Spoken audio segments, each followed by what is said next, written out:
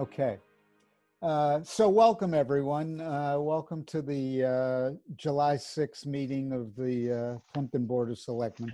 Just a reminder pursuant to Governor Baker's March 12th order suspending certain provisions of the open meeting law, this meeting um, uh, of the Plympton Board of Selectmen is being conducted via remote participation to the greatest extent possible um, information for the public on how to join the meeting by video or by audio is on the town website. Um, you can do so by calling in. Um, no in-person uh, attendance of members of the public will be permitted, but we're making every effort to ensure the public can adequately access the proceedings. So we are recording, and just a reminder, the recording is not considered a public document. Um, So again, welcome, everyone. Um, uh, This is often the place in the meeting that, in meetings that I chair, that I um, remind people about some ground rules. I think the only one I want to mention tonight is the old use of the legal pad as um, parking lot and as we begin to change language on some of our lists. And the intent of the parking lot is that issues might come up um, which are significant and important but aren't on the agenda or aren't within the time frame of the meeting. And so that we make sure we don't lose any of those, we have the parking lot so that those things can be held on to and certainly addressed at the next meeting or at the proper time or at a time when the subject matter involved can be put on the agenda. Um, so that's a way to make sure that the um, the spirit of open meeting law is not lost, that people have an opportunity to know ahead of time what the discussion will, will be. Um, Mark, can we do introductions? Okay. Why don't you introduce yourself, John? John Trainer, Selectman And I- Clerk. And I'm Mark Russo chairing tonight. I'm Christine Joy. Uh, John Williamson? And I think we have a couple people on the phone. Christy, are you there? Uh, yep, Christy with the Plympton Halifax Express. All right. And anyone else on the call?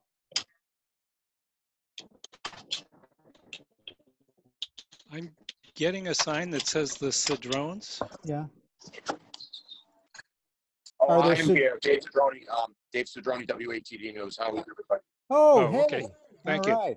Very good. Yeah. Well, welcome, everyone. I will mention, I said I was, I was acting as chair tonight. I spent about 45 years at my place of employment telling people I was the acting chief of staff.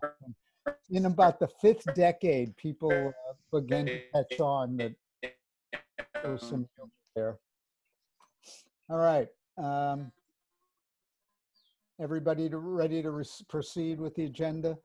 Um, So I think this may be a relatively brief meeting. Um, The, the first two agenda items are approval and signature of documents related to All right. um, the sale of lots one and two.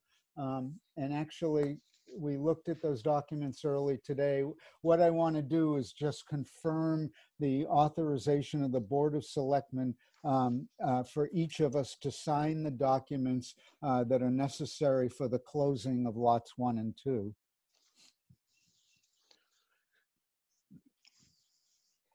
Mark, I'll So- make that motion. I'll second it.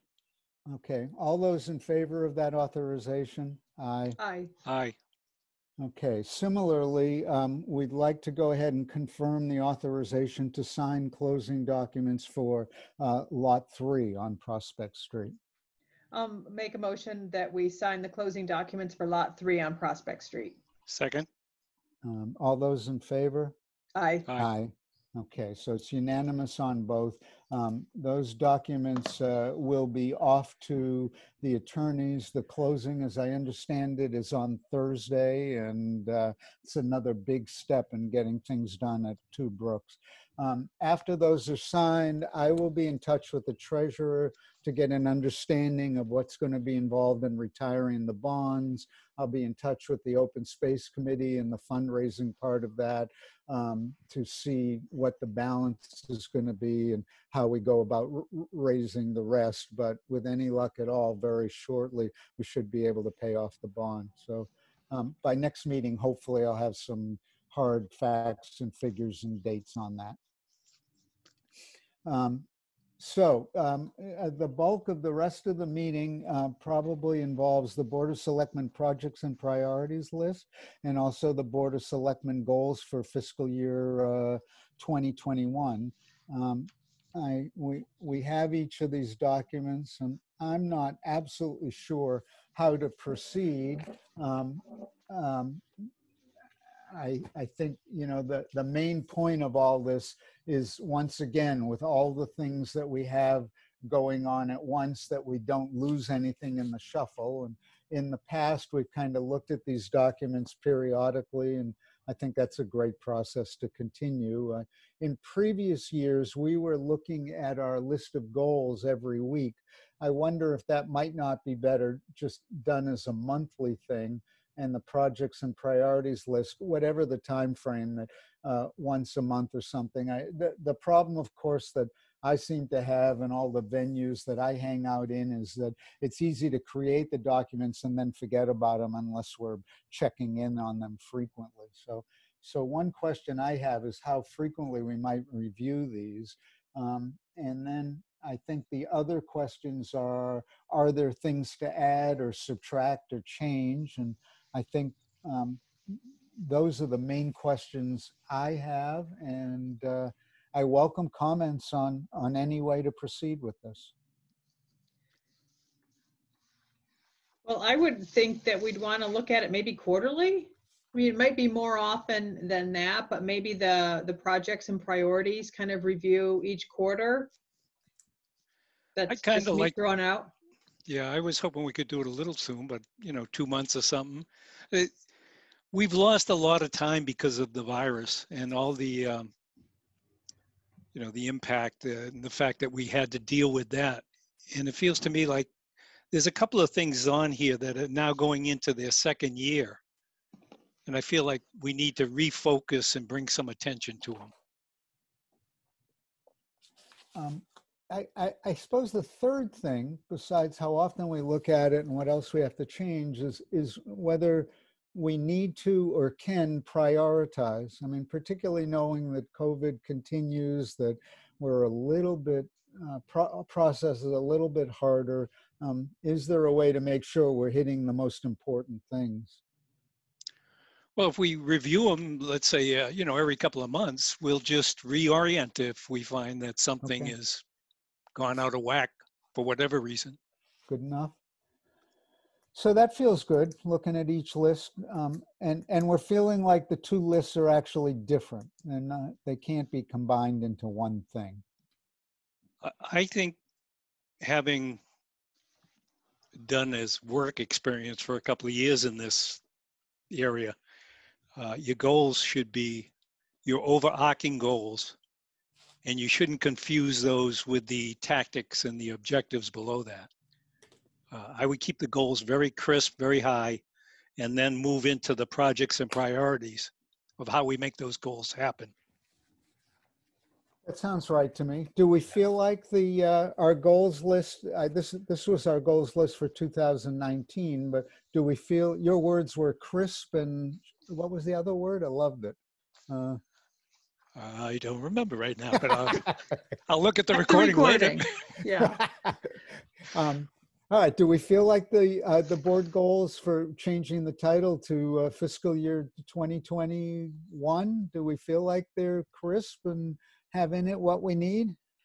You know, I think there might be a little bit too much on our goals and maybe a little bit of tweaking. Um, uh, number two, the senior citizen needs, and that says shared services. I think I would just leave that as a standalone senior citizen needs because Okay. it's more than just the shared I think you're right. services. I And agree. then maybe put grant acquisition and shared service opportunities as um, something together, because those might um, make sense. I think grant acquisition is actually an objective. It's, it shouldn't be on a goal. We've actually hired somebody to do it. Right, So- right. Maybe it shouldn't even be on here, right? Yeah. All right, so we'll take out grant acquisition. Do we want to leave shared services as a board goal for 2021? At least something we're keeping on the radar screen? That's more of a way to get there than, than a Yeah, goal. and the other thing is, I, I don't see it being successful, given the virus is going to go on for quite a while. Yeah. I can't imagine anybody wanting to talk to us. Um, I think you're right. All right, so we'll delete shared services, we'll delete grant acquisition. Are we feeling okay about the rest of the list? Um, I think support town administrators' goals is kind of a given. I don't know, I mean, that's just me. It can certainly be on there. I agree with you, Christine. I, I think her goals are our goals. She's, our goals are hers. We don't Right, need I to mean- reiterate it. Right, that we um, support them. And then um, we Um, have done a really nice job with volunteer outreach. Um, I don't know if, um, if that really needs to be moved maybe to the parking lot and not a goal. Well, it is on there, uh, in the parking lot also, as a, s- as a major category. Which is true. I mean, we depend on our volunteers. I- I'm, I can go either way on that. I think there's nothing lost in it being on there. I mean, I understand the redundancy.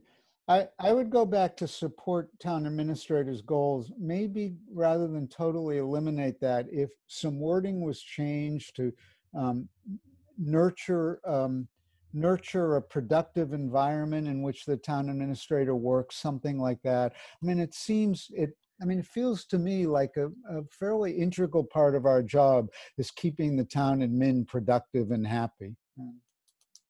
Yeah, but you know, the other side of it is uh, it works the other way too. You know, I don't I don't know that we have to say that. It goes without saying. Okay, It, it feels that you know this continued profe- professionalism of town, general and financial, and then the town adminis- uh, town administrators goals. They just it doesn't feel like it captures what we're getting to. I mean, when we say professionalize, where do we want to get to? And that, that's where I'm struggling with, because Right. every time it's come, every time we have done something in the financial arena that we thought was good, uh, let's say the budget process this year, that was improvement over the year before, we sort of said, well, we hit our goal. But I'm not sure that's where we, what we're really struggling where we want to get to. That that's I don't know. Maybe I'm off on a tangent. Can I, can I offer a thought? I Sure. mean, please. It, it seems like it's a goal. What you want to do to to further. I mean, it seems like that's a perpetual goal, right? Yes. But it, it's sort of then you have to take from that what one or two things are you going to do in 2021 to to meet that goal. It, you know, you're not going to wave a wand and everything's professional and perfect and you're done. You'll probably never be done with that goal, you know, because it's it's it's town government and it evolves but it's sort of like trying to find one or two things that you would like to to, to do in this year to continue that that process which you've been doing a great job. And I, I sort of agree with you, John, as you say that, because when we get to the project list, we actually spell out under financial those things we want to do this year, or at least in the sometime in the immediate future. right. Yeah, the goal the goal is this high level sort of thing that you're aspiring to and then it could be met in any number of different ways. It could be met outside of financial too you know depending on on on what things happen over the year. And sometimes it's met by things that happen to come you come upon and you just deal with and you go back and go oh wait that actually met that goal too but uh, i think you have a lot of the the the actions which are on the priorities list. Yeah. list Shall we just leave it for the time being? So let me, I'm going to work on that list again, make some of these changes. Okay. Actually, I think I want to think it through a little bit more as we kind of clarify that. And let me present a, a next draft at next meeting and we can discuss that part further. That Okay, great. good. Okay. All right. So now projects and priorities. Um, So, uh, just as we get into this, um, you know, we put together the Town Properties Committee, which is one of the two most important committees, I think, in town, that and the bylaw review. Um, I don't know how granular we want to be in this. In other words, when I look at the priorities, we've got a laundry list of things, but in a way, maybe that's that's what John should be telling us rather than us telling him. I don't know. I'm just looking for feedback. So, so I, I, you know, in looking over it myself, I, I think this is the right level of detail because John, we're going to go into a lot more detail. Let's just take the, let's, let's take the, the, the Sure. roof issue, right? Yep. You know, that I don't think it's, let's contact a roofer and say, can you fix the leaks? I think it ends up, we're going to break it down and say, you know what, we need a consultant to come out and do an overall assessment of the roof like we did for the schools and give us an overall plan of what we need to do, do some actual infrared, you know, taking infrared pictures and finding out what all these various problems are, because there's got to be five different types of shingles on the building.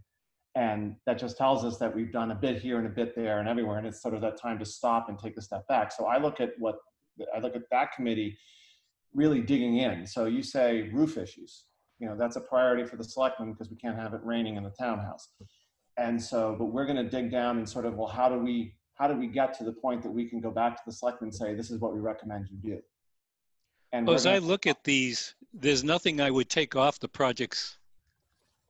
You know, I mean, that's our laundry list to start. So I'm fine with just leaving that. Yeah, I'm good with yeah, that. we, I, we're blessed to have a really good committee that we can sort of leave in their hands of getting this done. So, um, it's good. and, and Yeah, we, I agree. I wouldn't want to micromanage your process. I think you guys we'll, we'll we'll share with you as we start to build this so you know we had our little uh, break because of covid um, and we're getting back to it and we're also dealing with the um, you know the master plan work with the consultants so we're sort of we were pulled in two different ways and we also were running along with the lift thing uh, there which of course covid caused problems with that too but what we're going to do is we'll end up pulling together sort of a, a master spreadsheet to sort of break all this stuff out and when we get that together in a decent form, we can bring that back to the to this to the selectmen to to share more broadly and sort of how what our process is and how we're hoping to get through it. But I guess I would believe with many of these items, the more complicated ones are going to be more of a let's research it, let's get advice on the problem, and then build a plan about how we're going to attack it, and then look at it from a fiscal perspective as to how you can do that. I- Um, I'm yeah. total agreement with you.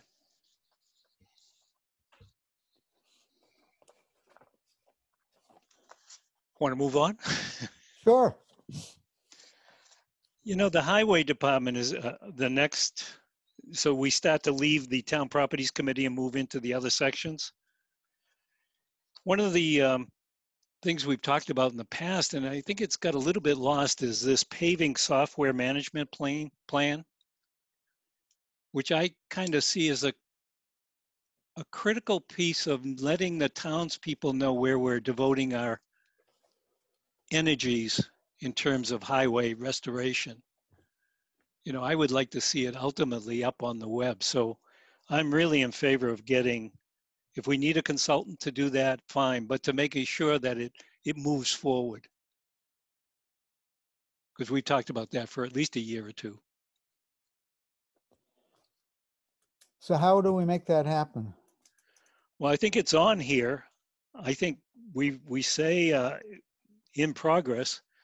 Uh, I think we look to Liz to say, update us, you know, on the project, progress as we go through this on whatever time period we put.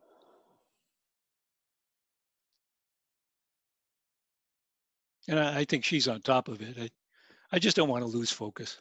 Sure.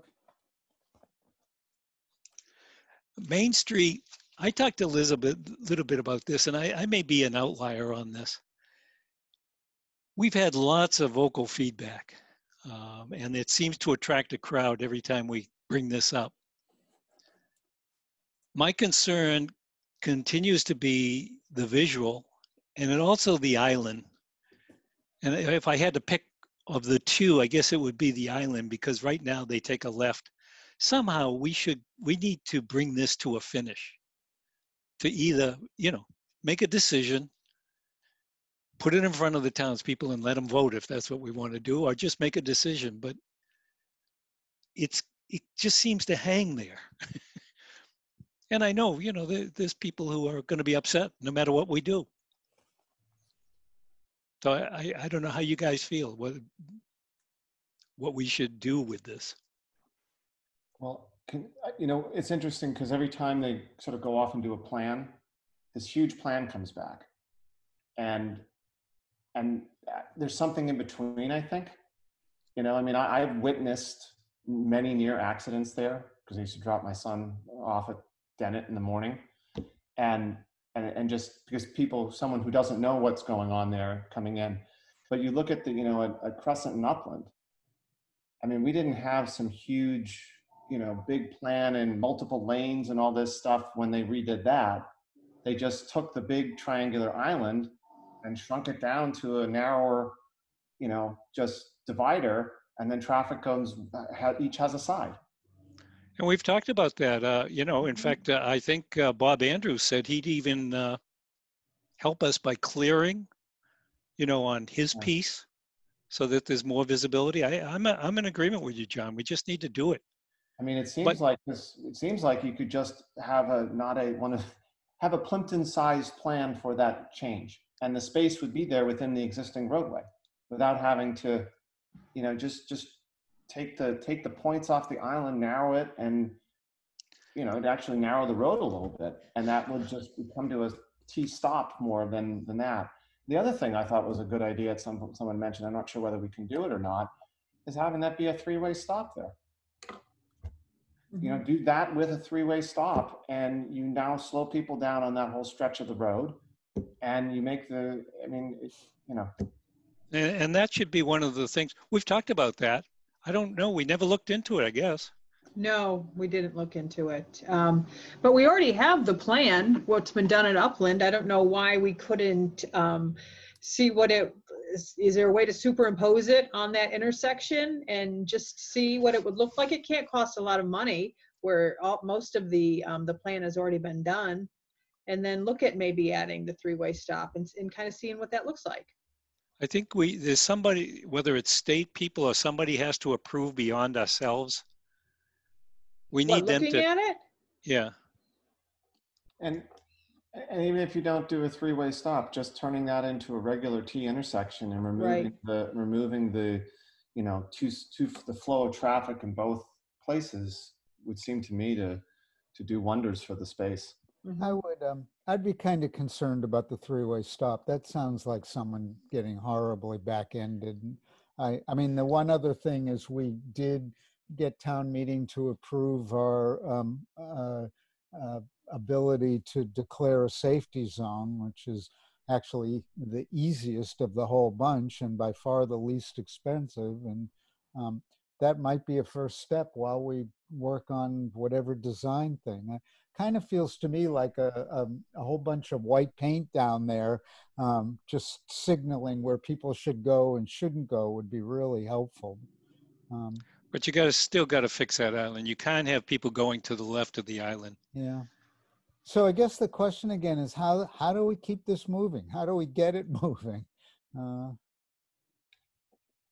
that's the piece I'm not sure of. I, I'm inclined to say to the highway uh, superintendent and to Liz, bring us a simple plan that you think will work. Put it back out in front of people. You know, somehow we gotta, gotta get to an endpoint. Well, I, I think what drew the crowds before is that each of the plans that were put out there involved moving the roadway. You know, and it Yeah. seems like if you if you follow the upland example, you know, and uh, isn't it also over on uh, at Brook and Spring? I mean, the same thing was sort of done there. They took out an island and That's a Right. terrible island though. no, but right, but but it was from a from a you know, it's done within the roadway. The space, you know, in fact, you end up taking out some because the roadway would be narrower, so you're you're not impacting anyone's property or the perception of their property. It bring a plan that stays within the bounds of the existing roadway, Right. And that keeps it less expensive and simple. Mhm. I agree. I agree with John. All right. Yeah, we just use our existing space. We need to figure out a way to make it work with the existing space. So I will speak to Liz and see about her um, maybe coordinating with Highway and maybe if nothing else, coming up with a simple plan off of which we Mhm. can make further um, um, uh, refinements along the way.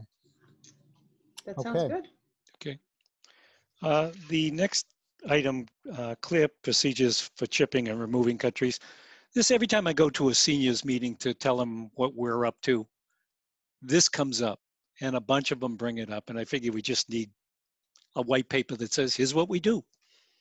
Because everybody's concerned about, is that the town that should take away that tree that fell down? Or is that on my property enough so that I have to take it? And we just need a paper that says, here's how we measure that. That should be highway, I would think. Well, in the layout, it's, um, I mean, the town's responsible for the layout. Isn't that pretty much it? Uh, when you say layout, what do you mean? Well, the road, there's a layout plan when um, roads are accepted, and um, I'm not sure how far up onto people's property is contained within this layout, but it would be good to get it clarified. Uh, It, this shouldn't be um, too difficult with. I wouldn't think um, so. Yeah, Mayflower So- Road is always the example that comes up. You know, trees come down like crazy every time we have a storm. mhm. So since I'll be speaking to Liz and indirectly Highway about the previous thing, why don't I take this one as well and speak to her and see if we can move that along? It's probably a one paragraph answer, but that is our definitive policy for the moment. Um, so My glad headset is she owns all this. Well, Yeah, yeah, she and Rob. Well, and um, the next one was at Main Street speed limits um, that we already were authorized to do. Do you want to take that one too, Mark, and see what the next step is? What do we need to do to declare it a safety zone? And in fact, what we need to do is put it on the agenda and vote it and have Highway have some signs ready. I, yeah, Um, but I would prefer we talk about a simple plan so it's part of it. If we're going to do it, let's do it once and for all and get it done. Mhm. Yeah, with distances from the intersection and all All of that that. jazz. Yeah. Okay, well, um, that sort of was my baby along the way, so I'll, I'll keep working on that. So Okay. if it goes a little slowly, you know who to blame. All right. We made it through the first page. technology, I think um, the one thing that um, I think most of Liz has total control of this. She's on top of this. It's working. The fiber's being installed. She's done a great job. Uh, the one thing is we need to have a resource that we can turn to who has the smarts to tell us as you think about your future, this is what you should be thinking about. And we talked to Steve Pello, and he had a fellow who works for him who he was going to talk to, and the fella apparently said, um, "I've I've got enough projects of my own, uh, but I'd like to see if we can sell them because we really need that person. Uh, we've got a good guy if you want to hitch up computers and printers and all that jazz, but we don't have anybody, and neither Liz or I has the technology skills to." Say this is where we should be two, three years out.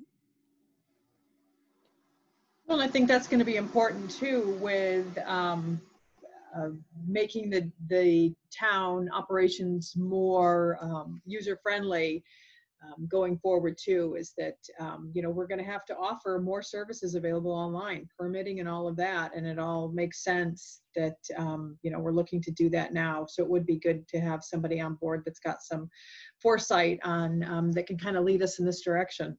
Yeah. I think, Yeah, I'll give you an example. Uh, I didn't realize, but FiOS runs down to the Upland Club. Uh, I thought it just came over the Kingston line a little bit on Brook Street, but in fact, it keeps going. But one of the things we've done is we've signed a contract with Comcast that says nobody else can come into the town. So that's something as you think, you know, what are the ramifications from a technology point of view? I don't know. Maybe we're fine, but you know, so Liz is off, I know, looking at it, but I just, I think about these things and it, it concerns me that the blind's leading the blind in a way. I think my concern with the technology is I think it's right. We need someone with, uh, to take an overview. We need someone. And the corollary of that is we need the money to pay someone. And, um, you know, we're getting near that point that most organizations of the size of the town have an IT guy that that's their job. Yeah, but Um, you know, an alternative is, and I think they've done this in Duxbury, the school district runs the town technology. That may be an opportunity. You know, why can't the Silver Lake Regional District, why can't we uh, piggyback onto them? So it's just a thought. That's the kind of thinking that somebody needs to sit down who's got the skills and say, well, here's the pluses and, and minuses of that. I don't know, it may make more sense to um, partner with some other towns because, you know, we do offer different services than the school. Um, You know, maybe Duxbury or um, Kingston, Carver, they are, um, because we're all in the same boat with um, being shut down with COVID. And um, we're going to have the same challenges. So, um, you know, maybe there's an opportunity maybe even a shared services grant for us to look at um, moving forward with um, with IT as to um, so that we're meeting the needs of the residents in Sounds more good of to an me. electronic um, environment. Sounds good. All right. You well, I look can like you were I going to can look speak for a into minute, that. John. So a uh, couple things. I mean, it, you know, one of one of the, I think the big challenge is you're coming up with that roadmap. You know, because even as I hear us, you know, and it was a couple of years ago, I even said that, you know, oh, we had money on the warrant to to to buy servers, and I'm already starting to scratch my head. Even a couple of years ago, I'm nobody buys servers anymore, right? I mean, everything is everything is up in the cloud, and that's Right. where that's the movement. And so, you know, to be too late to that, you don't want to be too late. You don't want to be the first one out there because that's unless you have a lot of money to to cover the problems. But you know, there's there's a lot of services, and I looked at this, I don't know, five six years ago at the time, you know, and there was, um, you know, a lot of interesting services. It becomes a cost, but the question is, is how much is really the cost? You know, like like having everything is everything is in the cloud including all of your software and all of that. And so that means that you can get to it wherever you are, which of course takes on a greater, greater uh, importance right now. Um, the other piece to that, I think, um, and, and I do think it's worth exploring any of the different options, you know, the, the, the concept of, of having the school sort of take that over. I think the reasoning there is that, you know, they're running an enormous IT service and system you know, especially in the high school where you're where you're, you know, you've got to have everybody connected because they're all using their Chromebooks, and so everybody has to be connected, and the infrastructure that goes into that is pretty significant. And they used that when they did the Dennett. So as we started pushing and getting, you know, machines in for all of the students to use in the classrooms, they had to change the whole infrastructure there. So it's it's an interesting piece to just keep in mind. And then the last piece I just say in technology is I think we actually need to call out here not just a master plan for IT and technology, but I think you need to actually call out the website because Absolutely. you know this is when we've known this for a while. Uh, this website we have now is behind what we used to have. Oh, yeah, no doubt. It's, You know, it's, we just didn't have the ability to continue to maintain it because it was built in the old way, which meant every time we made a change, we coded it. And you know, you can you can run a website today where it's built for you and you change it with an interface. And so you pretty much, you know, you just have boxes that you can fill in what you want to change and it puts it up on the web and there's no coding involved. And so, you know, if, if we're going to do more stuff online in the, now and in the future, it, that's going to be a piece that we're going to need to address. And that is going to cost us money to be able to do that. But you look at, you look at how many of the town websites run and they're using this stuff and it is, it, it's not, it's not impressive. you know, that it just, it just doesn't operate the way any e-commerce website operates. And guess what? We're kind of running an e-commerce website, right? Because we need people to be able to, to purchase things online, be able to conduct business online and find information easily. And when you're clicking around and some pages haven't been updated or you can't find it or it's under this tab, but it's not under this tab, you know, when we built the original website, we spent weeks and weeks cross-referencing where you could find things to try and figure out all the places that someone might look for it so they could find it because we have so many boards and committees and and that's what made it work so i, I do think that's going to be part of it but it should be part of the overall piece. And then the last comment i just had is any is that you know that might be some some place for a focus. Are there any grants out there to be able to do that? Uh, to, to hire a consultant to come in and give us like the master plan for the for the for the you know townhouse campus area and just be able to come in and kind of do a full look through and say this is what you could do to get yourself to here but if you want to look and get jump ahead here's what you might need to do and what the cost might be We, we have started down that road a little bit. We've done a uh, survey that the state came in for uh, zero money. Uh, The next step being that we would then take it down to the next granular level. So we knew it exactly what we had. But in my mind, this is all the more reason why we need a technical resource to help us draw the future. Somebody to make sure that the parts all fit together. I, I totally agree with all that. I particularly agree about the website issue. We are so far behind on that. Uh, the two things that occur to me in looking for grants or volunteers or shared services on this is great. Um, you know, but we talk about it all the time. And it seems to me, especially when we get to budget time this year, that's a particular time to be looking at this document and prioritizing. It's a little like the roof on the townhouse is like a no brainer. We can talk about it forever, but next year we better put some money in for the roof for the townhouse. And I kind of feel equally on technology. Um, we can look for grants, do all the other things, but next year when we're making the budget, I think it's essential that we put in, and it should be a yearly thing, something to do with technology master planning. I think the real key in the long run that if we do it right, we're going to save time and hours and employee hours working on this stuff. That sounds Yep. good. Okay, That sounds like a community compact grant. it does. Mhm, Yeah, Um, there is, every year there is the information technology grant, That's so, right. and we're eligible. We sure are. So uh, might be worthwhile to have Liz look into that to see, um, looking at some type of um, technology grant. Yeah, I think we missed it this year because of the uh, virus, you know, it just, But you know, maybe they've extended it because of that. Who knows? If there's Yeah. still money available, sometimes they offer up another, another round. yeah, that's true, yeah. I'm, I'm glad to remind Liz about that uh, the next time we chat. All right, shall we go on to financial? You want to lead the way on that, John Traynor? I, I feel comfortable that, uh, y- you know, I think these are the things. We do need this five-year capital plan.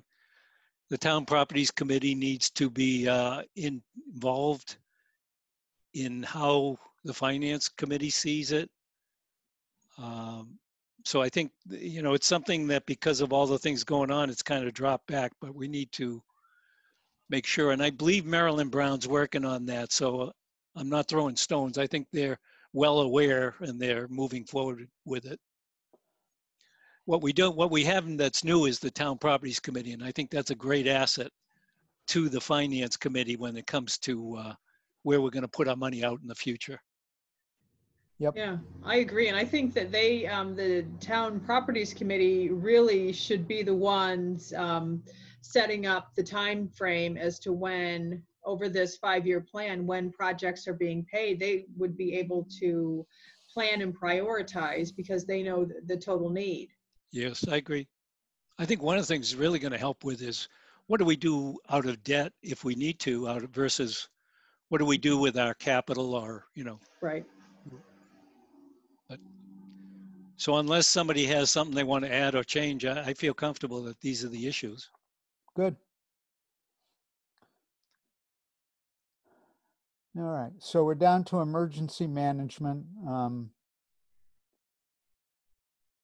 uh, I, the only thing I'd say is I think we've done an amazing job during the crisis so far, and hopefully we stay with it. I agree. Uh, it's not my area of expertise, but it feels like we're in good shape. No, we've had a, a really good team um, leading us through this, and uh, yeah, they've been a, such an asset to the town. And, and we've worked so hard to really keep things running. It's um, yeah, we're so lucky to have them. Very impressed by the fire chief. hmm You know, also, it, it just, it, it turned out having a real professional at the police station as well at Yeah. this time was just, oh, God, thank goodness. Oh, Uh, can you imagine with what Oh. we've had to deal with? Oh my Yep. goodness, it's Yep. um, On, well- on, and on all the emergencies that are before us now, just having a pro, it, it shows, it shows. That's why we're so good. well, yeah, and that's you know furthers our goal for professionalizing town services. It's just Exactly. Yeah. Right by having good people um, in leadership positions and on boards and, and committees it really um, helps the town run so much smoother And I, and I think it's hard when you upfront have to pay more to do that. That people go, well, wait a minute, why is we paying X amount for this or that or the other thing? But this is where you where you see the savings. You know, this is this is where you see the savings. It's the same thing with technology. If you invest in that, down the road something like this comes up and you have one company that can send everybody home to work at home in a couple of days and the other one takes six weeks Yep. you know and and it's so it, smart investing is really the key to this and it's really good that this board has been doing that for a number of years here and we continue to focus on that getting the information and then investing where we need to it's good All right.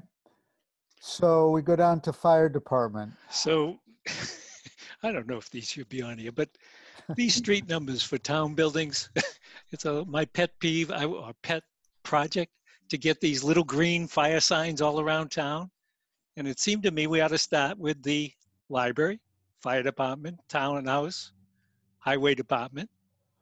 So that's why it says street number signs for town buildings. So how do we do that? We just tell the chief, go order them. I, in fact, I talked to him a year ago and he said yes, but you know, a little thing came up like the virus and that I'm sure just pushed.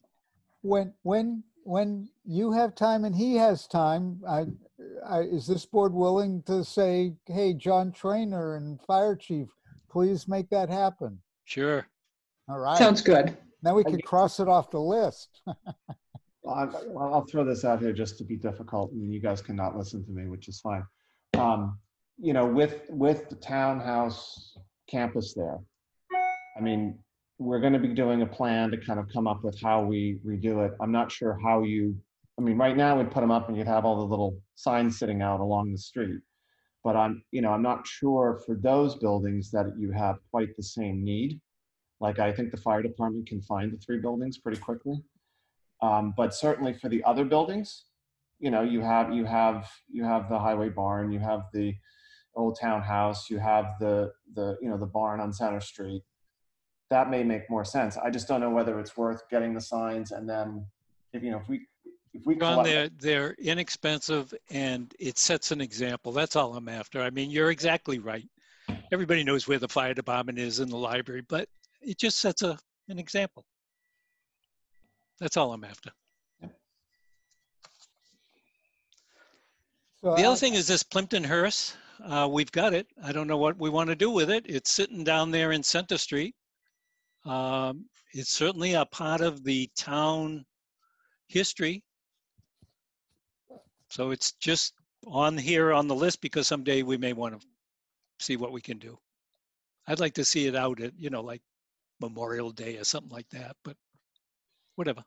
it, it also may not be ideal for it to be down in Center Street for too long Because, because it's an old wooden oh, okay, yeah. you know so i mean this this is one of the things we had talked about about you know the storage building it just this year was not the year to do that Yeah. and so, you know th- that may be one of the things that we would we would have to think about when we look at that because that building would be would be climate controlled at least not not Yeah. not for humans but it would it would not have the the Makes a lot of sense what you're saying. Yeah. Because it will it will it will be fine for a few years but then it won't be because i'm sure it's damp and and all that down there All right, so natural and recreational resources. Um, I, I might as well take the lead on some of these. So the MVP action grant proposal, I think is in, honestly, I don't remember when we get the results on that. Um, but open space committees right way on top of that, as is Concom.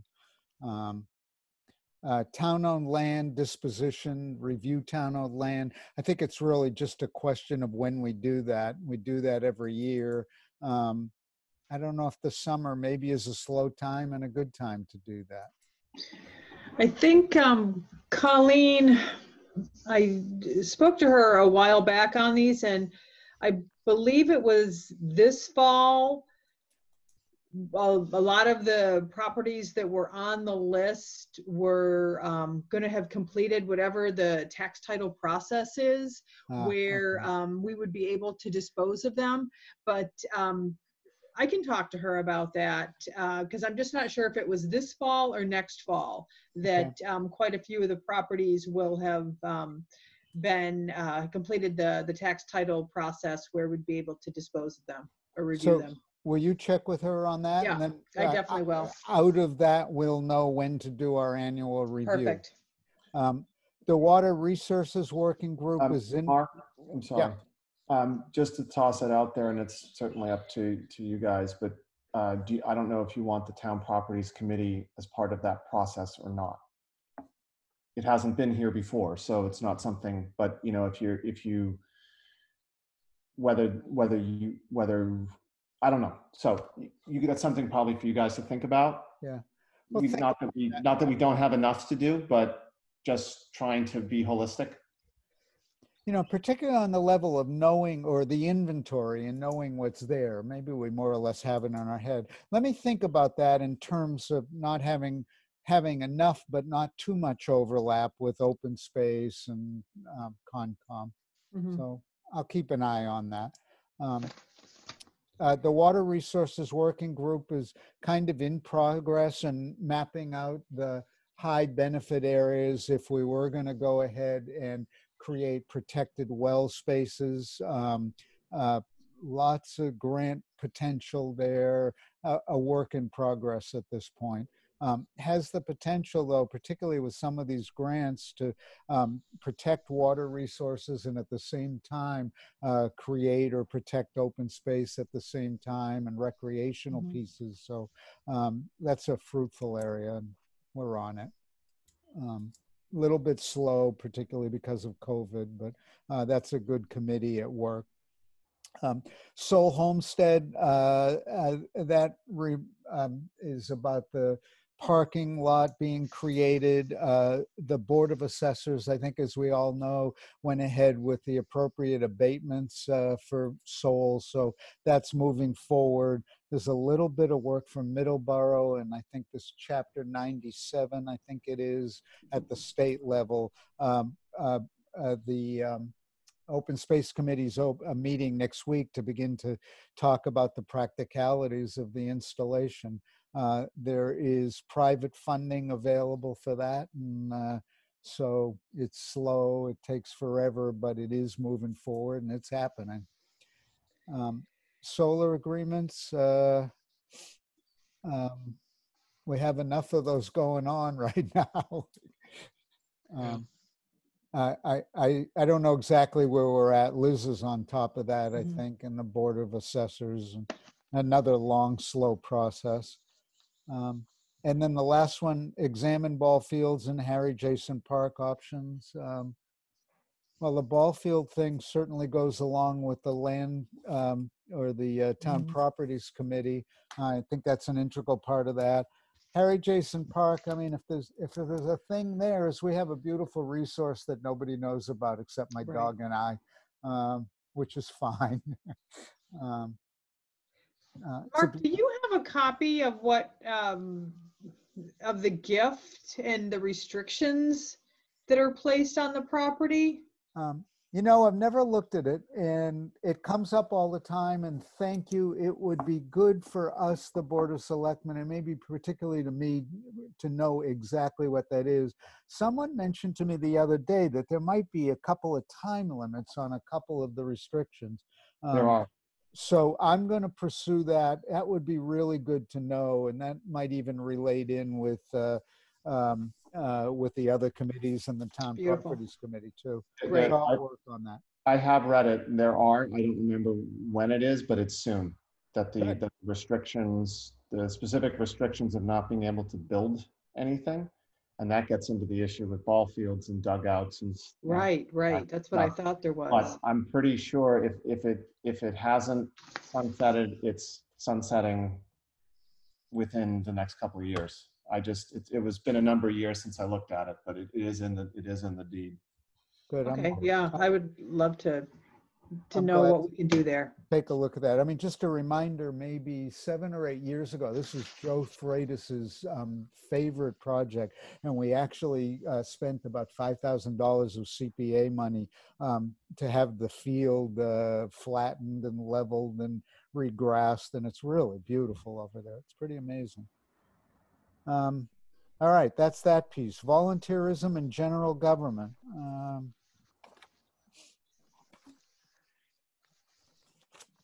I had a couple of things on here. Uh, some of it's just nits. Um, one of the things I've been wanting to do is put flags from the from the green to the old townhouse. Uh, talked about it for a couple of years. Um, just haven't done it. It hasn't happened. I'd like to see that happen for next Memorial Day. So just want to get it out in front of us. I, I think we can probably raise some money to buy the flags. I think there'll be people who want to help us. I mean, private private fundraising. Yeah, yeah. You know, I did see. I don't know if it's in Kingston. It wasn't Kingston, but it was somewhere that rather than sort of a cloth flag, um, was a, a um, just a sort of plastic thing attached with a flag on it that looked like a very inexpensive, long-lasting way to do it. Um, Well, it's up for discussion then. okay. Uh, affordable housing, I know, Christine, you've been hot on Yeah, that. this is really something I would love to see us uh, continue to um, to look for opportunities um, to partner with um, some of the uh, Habitat for Humanity or some other groups um, when town properties uh, that um, would be suitable for this type of uh, um, development um, are turned over through tax title or uh, through some other means. So, uh, yeah, I'm hoping that we can continue to work on that. And you, you're talking to Amy there. Uh, I've been working with Amy and Jim uh, Middleton from uh, Habitat for Humanity. Uh, we were meeting um, up until um, the the COVID hit um, about every couple of weeks, and they had expressed some interest in um, the lots that we were selling, and they were going to uh, to look to see if they had a funding mechanism, but obviously that didn't happen. So, uh, you know, we've had some good discussion. They do have other um, projects that they offer as, as well that would be beneficial to, um, to people who are um, in um, uh, uh, category where they're um, a little bit more financially challenged, where they offer um, help um, rebuilding steps or um, uh, putting in handicap ramps. So they have other services that we wanted to bring them in to talk about so that uh, we could raise some awareness of other ways that they can help our residents who um, who need a little uh, helping hand. Great. Uh, internships, uh, actually, I have a uh, person from uh, Bridgewater University that came forward on the technology side. So I'll forward around the resume and see if we can get Liz to talk to him at some point. Okay.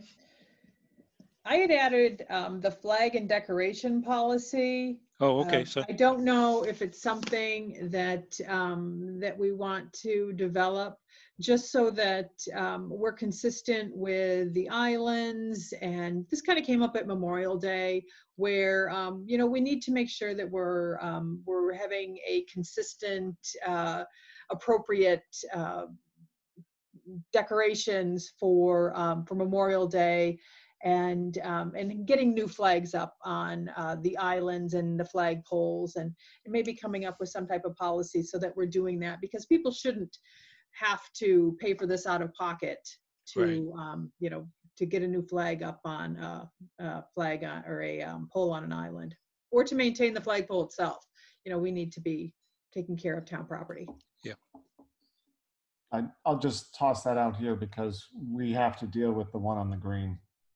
It is, uh, I don't, I think it was done 21 or 22 years ago.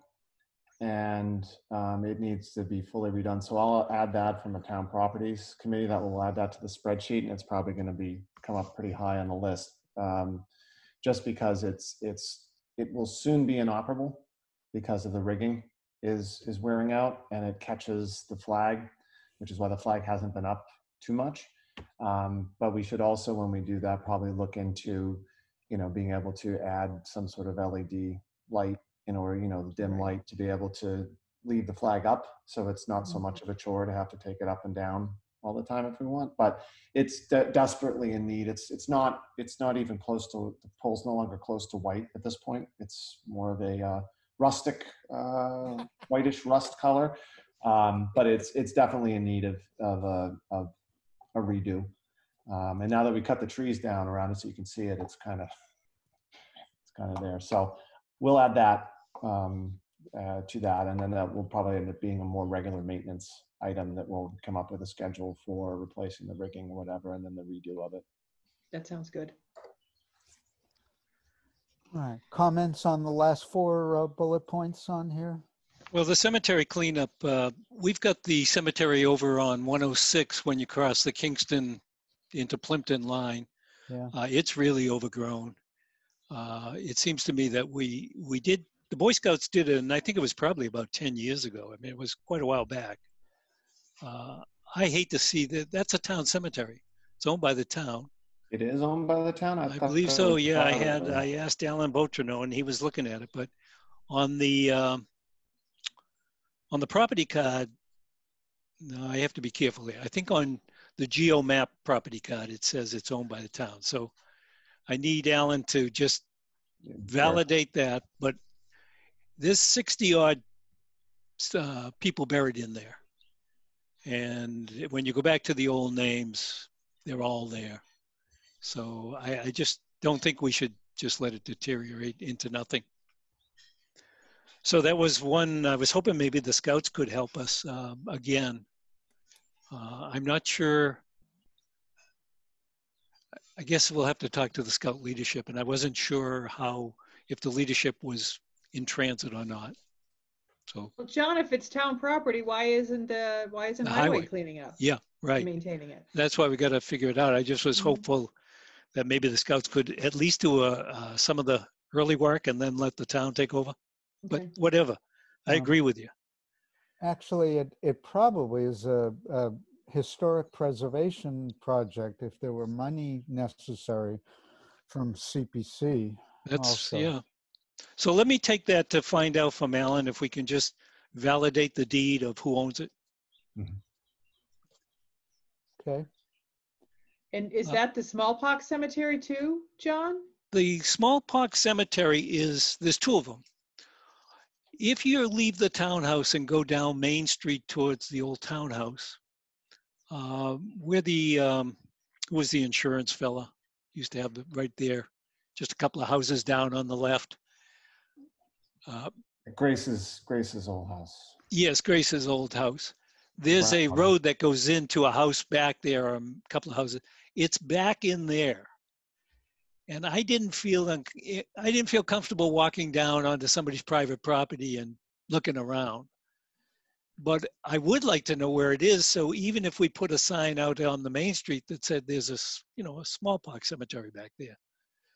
And then I believe the other one, I'm gonna, I, let me validate the exact location of the other one. I think it's over by um, uh, 106, but I I need to do a little work there. But there is another smallpox, and then there's a bunch of other little cemeteries, you know, one-offs. Uh, somebody is buried where uh, Billing Gates Farm is. Out in the back, they found a old gravestone, you know. So Hmm. You know, I we started the uh, Plympton uh, Library Genealogy Club, and there's been a lot of interest. And what surprised me was people coming from a fair distance because they have ancestry that came through Plympton. And so we have a we have a lot of connections back. You know, I think it was um, the town clerk in the 1700s wrote he didn't think there was a family in town that didn't have a relationship to the Mayflower people. Hmm. So you know, you got over in the cemetery next to you, John. You got Standishes and you know what all. Yeah. Um, so I, I'm just, I'm obviously very interested. It's a pet thing of mine.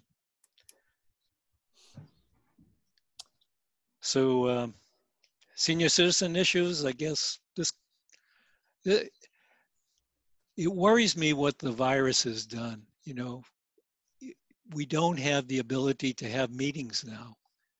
And I worry about the fragility of uh, some of our seniors.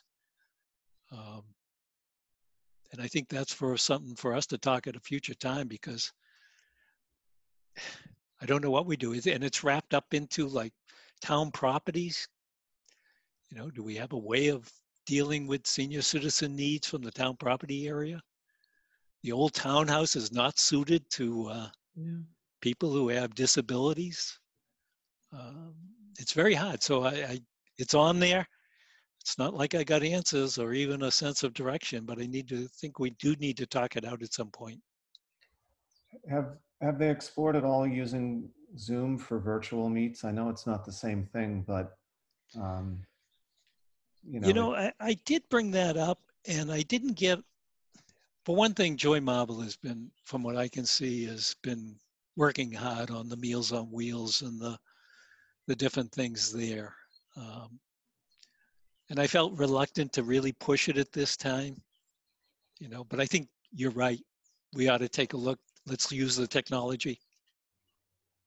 Yeah, it, it just, I, I- I know it's not the same, but I know we've done, you know, we've done, I've done things that from, you know, working with my group at work, you know, Sure. my boss started out right after the first week we were home, did, you know, happy hour on Fridays at five.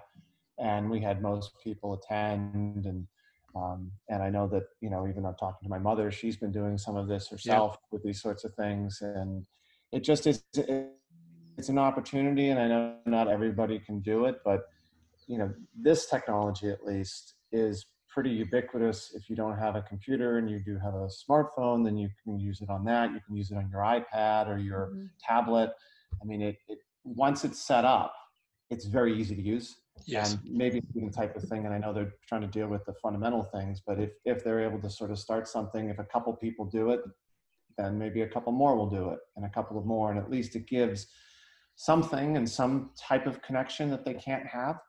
Um, because this is, you know, we're, we're in the early innings here, but this is not going to change probably for this year. So I agree, and it, you know, one of the things I found when I did the um, I did the calling around about when you know the virus took off, and I think I contacted 80 people. I was surprised at how many people didn't want to talk at all. You know, I left um, voicemails saying, "Hey, um, here's what we're doing. The selectmen, call your fire department. We'd like to hear from you." But people are kind of old Yankee around here. You know, they don't want to they don't want to do things and i'm not sure but uh, on the other hand i feel like if we don't reach out how do we know so Mm. i've got lots of verbs and no uh, no action Okay. The the last one uh, john maybe we should just take this offline uh, this is um, one of the things i've found is uh, as part of this uh, genealogy thing we're doing i've sort of volunteered for there's a site called find a grave Yep. and uh, you know you go off and you take a picture of the monument you put it up on the website and then people have access to it all over the country and so there are lots of requests coming in because we have so many people that you know go back to the uh, mayflower that people want to see their ancestors grave so they can tie it in and i'm running out of um, i've used the charles bricknell study Uh, and I've, but the, the stones are getting so bad and it's not always clear which stone it is. And I know the Historical Society has, I know that when Chris Moreno was there, they did a, uh, another walkthrough. And Okay. she told me, I remember that she said they, they found a lot of errors in the Bricknell study. Yes. And somehow I'd like to see us, you know, can we somehow share resources? Yeah, I, you know, unfortunately, again, I know it's it's starting to sound like an excuse, but we we had met, you know, a month before uh, in February about you know having the annual meeting and all that, and there was a whole bunch of energy about again digitizing, and I mean that that's the I mean that's the end goal for for the i mean that you know it's one thing to be able to come and look at the original papers but for most people they want access to them and they want Sure. access to them when they click on the computer so Yeah. being able to do that and get all of that stuff up into the into the digital world is was a uh, a big piece of what we're going to do and then of course um, covid happened and everything shut down and you can't have those meetings so a lot of that energy got got kind of dwindled but you know to the extent that we need to to find that information, we can certainly get in there and and and do it. And then again, it would seem like that's something that should be we should create a digital copy of so it's available and Exactly. not just available for you know for you, but to get it up somewhere where it can be accessed.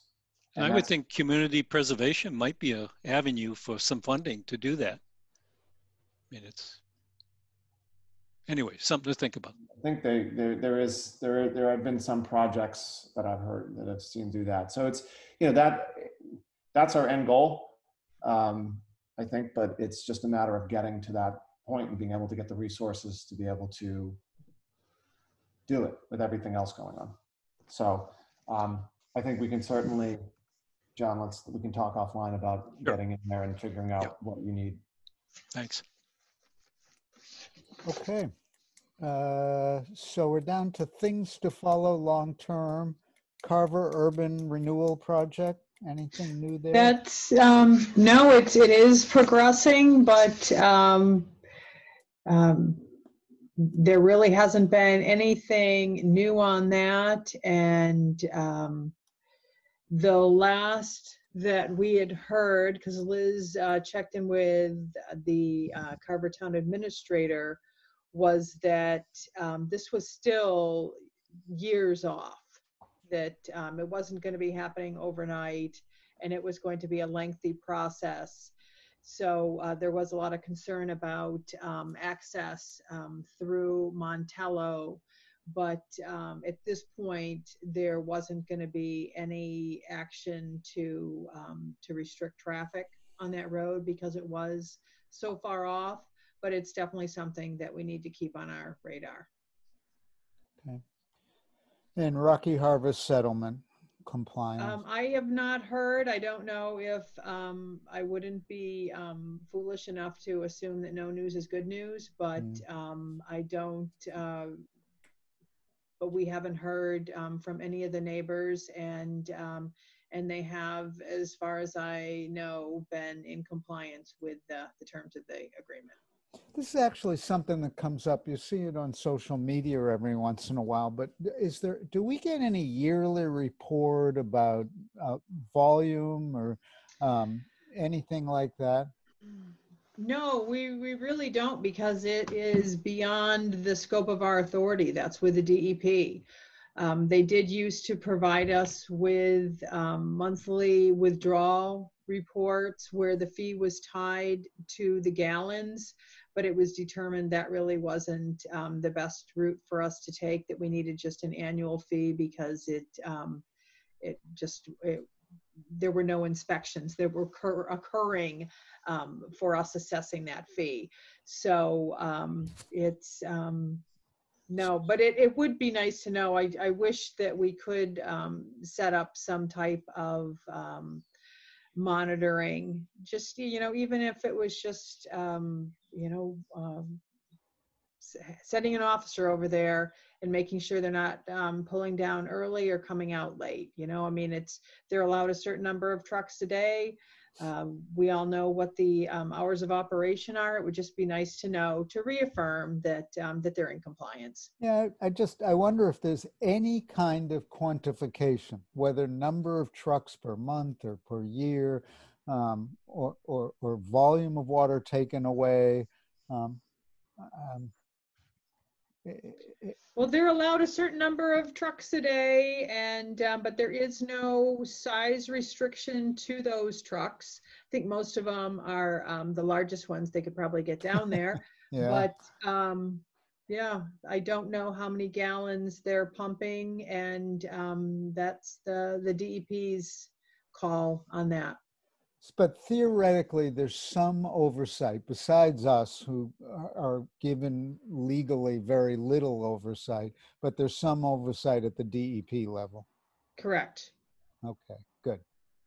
Okay. Yeah, testing and, um, I believe they, uh, they report to the DEP. Okay. Um, so the last two here, the future uh, exploration of shared services, and I think that's something on all of our minds. And if there's anything that probably is relatively on the back burner right now until COVID gets cleared up, it's there. Um, and grants, uh, as we all know, we're blessed with Colleen Thompson and moving forward on that, and that's big, really big. Um, and that's the list. Yay. Ooh, that was very good. Um, any comments on the list or the process? Uh, I think this is actually worthwhile. Uh, did we decide that maybe once every two months we'll go through this process? Does that sound right? Yeah, you know, where it's been so long, it, I think, um, it wouldn't be a bad idea to just, um, schedule a meeting, uh, every two months where we're going through the list and just getting updates. And there may be things that we can remove, but there may be things we need to add to. Good. Uh, it's just good that we're Great. all on top of it, and there's Mhm. enough information here that being reminded of some of it is very nice along the way too. Mhm. All right. Um, we, I don't think have any correspondence today.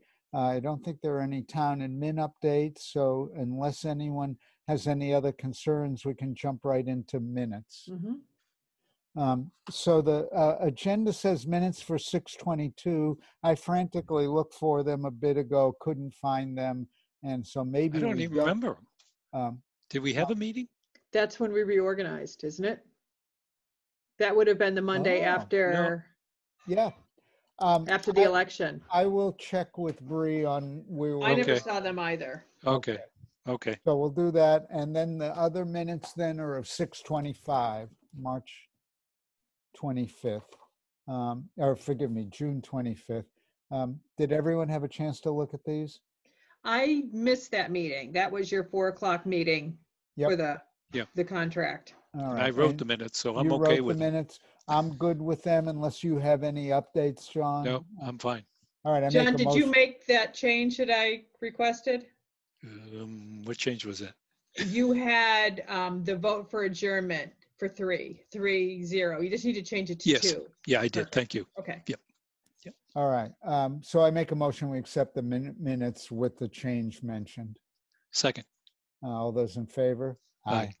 And I'll Beautiful. abstain. Okay. Uh, So we are up to, uh, oh, look at that. It's listed in the agenda as Board of Selectmen raves. Yay. Okay. Can I go Uh, first? Yeah, Okay, all right. My rave is um the uh it's a rave, but it's it's kind of it's I'm I'm sad too with um you know what happened in Kingston uh with um the recall and all of that, but my rave is that people got involved. They um, weren't happy with what was happening in town government, and they did something about it. And um, I know um, on uh, Old Colony Planning Council, there was a, a gentleman that um, Eldon Moreira who served as a selectman in West Bridgewater, and he was a selectman for 39 years, and I believe he was the longest um, serving selectman uh, at the time. And um, he was defeated in this um, last round of um, of elections, and I think that people who are looking for change, um, they are um, getting involved, which is a great thing. And I just think that um, it's a good reminder that um, this is a temp job and we work for the people. And that it's important that we don't lose sight of of that of of who we work for, and that and that we're um, always doing what um, is best for the town. The town always needs to come first. So that's my rave. Here, here. Uh, John Traynor? Uh, so I'm going to get, we've probably done this rave before, but um, I think the Soule Homestead, uh, the Two Brooks Preserve parking, every once in a while, government does something that does it kind of goes under the covers. And yet this is a tremendous win-win-win. Um, you know, Middleborough owned Plympton land. They let Soule use the land. Soule played, paid taxes to Plympton, obviously not happy. They're a very fragile nonprofit. And the, uh, I think uh, the assessor started it off when she went to the state and said, can we look at reducing those taxes? The State said, nope. You got to treat the town of Middleborough exactly as any other private industry or private person. And then throughout this process, lots of people got involved and came up with the idea of we'll lease what we need for a parking for the Two Brooks Preserve, and that lease will be equivalent to the taxes that Soule pays because of their arrangement with the town of Middleborough. I think it's a win for everybody, and I would like to see more people aware that every once in a while, town government does something that really is good very good, and that's one of them. Well, there was a lot of collaboration, um, a lot of different departments that were involved, and um, and a lot of creative thinking that It sure um, was. that made that happen. So yeah, yeah, that is true. And the fact it went through two town meetings, Middleborough and Plympton, I think is a, a big plus. Thank you Mhm. for both towns. Um, so actually, I have three things. Um, I, I actually had a, a rant, but I, I've been feeling really badly about ranting rather than raving. But I was going to rant about fireworks and the poor horses and the poor dogs, and actually some poor human beings that really, really suffer with fireworks. Um, but um, preferring not to rant, preferring to rave, and then looking down and seeing that this says Board of Selectmen raves. So a little side story. I'm doing an interview with WATD this morning, and uh, the fella asked the question along the way, and what about the selectmen raves? But I didn't hear it, and I thought he was saying Selectmen raids, and I had to ask three times on live radio, and I'm trying to figure out what a selectman raid was. um, thankfully, thankfully, this this is the, the the good blessing of the the week for me. I finally figured out that he was saying raves, and if I was going to rave about something, it would be that we made it through town meeting, that we made it through town election, that we have the townhouse open again, and as as kind of simple as those things seem in this time, that's those are huge accomplishments, and. Uh, um, That wasn't me, by the way, What's that? for WATD. Just for the record, that. that uh, Not me. That must have been, um, Dan. That was Dan. It was. But that's a funny story. Can you hear me? He's a good guy. He's a good reporter. Six thirty in the morning on a, on a Monday morning. You don't want to screw up a live interview that they're gonna put on the air all day long. Um, all right. Any last words? Or John Williamson, do you have a rave by chance? I would, I would just say that, you know, I, I think I'm going to echo yours, Mark, that, you know, looking at what we've been able to accomplish over the last couple, few months, um, both from within the town, within the schools, with what the parents and, and, and students have had to deal with. You know, there's there's so much we should there's so much here to be thankful for as far as what we've been able to do and that we've been able to be still a cohesive community even though we can't all get together in the same way um, and that you know we're doing we're getting the business done. Um, you know as best we can uh, you know none of it probably would be as we say ideal but um, you know i think we should be proud of that. Uh, and that's not just for those that are serving here but for all the residents as well and especially for the, especially for the working parents that have to do uh, homeschooling. Um, and Mm. hopefully we'll have a better solution for the fall but um, this is unprecedented and I, I just think it's it's it's really impressive you know given that you don't see it in every town or even every spot around the country working sort of well and carefully and being able to sort of keep things going in, in, in as normal a way as it can be so I, I, i'm I, i'm really proud to be part of it Thank you. Thank Thanks, you, John. everyone. So next meeting's Ju- uh, two weeks from tonight, uh, Mhm. barring problems, uh, July 20th, and I'll entertain a motion to adjourn. So moved. Second, all those in favor? Aye. Thank All you. right. Good luck, night. everyone. Stay Good night. well, please.